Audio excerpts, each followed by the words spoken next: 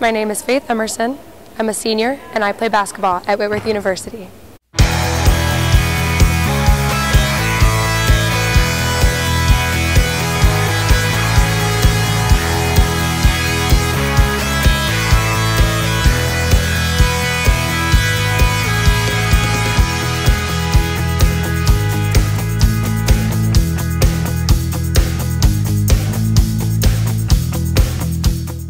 The biggest play of my college career had to be when we played Eastern Oregon University earlier in our season, and they took us into overtime, and I made two free throws.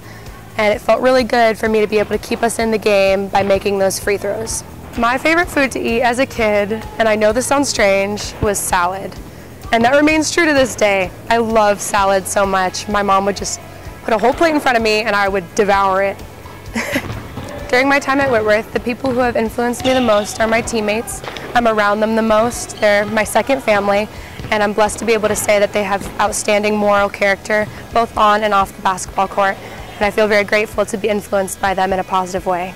If I could choose to stay a certain age forever, I would choose 21 because you're old enough to do most things, but you're young enough to be considered young and wild, and you don't have as many responsibilities as you will as you get older, but just enough to feel like you're in control of your own life.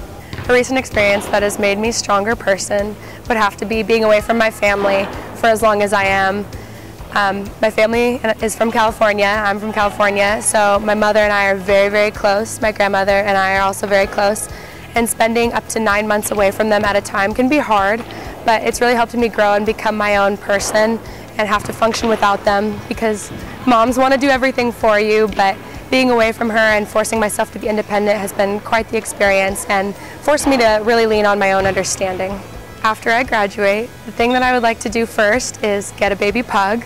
My mom told me that once I graduate Whitworth that I am allowed to get a baby pug and it's something that I've been looking forward to for years and years and years, so that's my first priority.